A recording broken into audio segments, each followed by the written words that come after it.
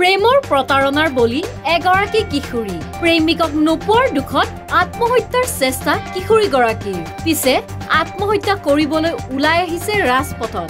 ভালদৰে মন কৰক এই ভিডিঅ'টিলৈ।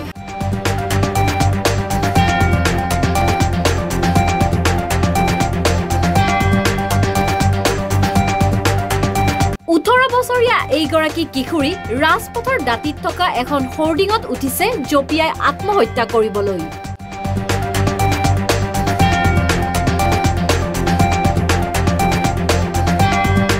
এই ঘটনা ইন্দোৰৰ।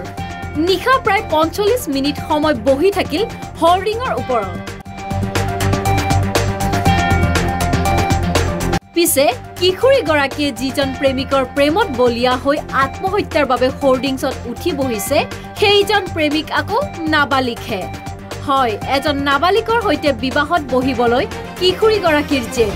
কিশোৰীগৰাকীৰ এনে কাণ্ড দেখি হতবম্বিত বাতৰুৱা।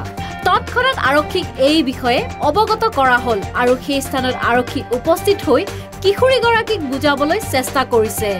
কিন্তু নাই। কোনোপধ্যেই নামি নাহে কিশোৰীগৰাকী। কিশোৰীগৰাকীৰ অভিযোগ পৰিয়ালবৰ্গই হেনো আন কাৰোবাৰ লগত বিয়া ঠিক কৰিছে তাইৰ। সেয়েহে তাই এইবাৰ আত্মহত্যা কৰিব ওলাইছে।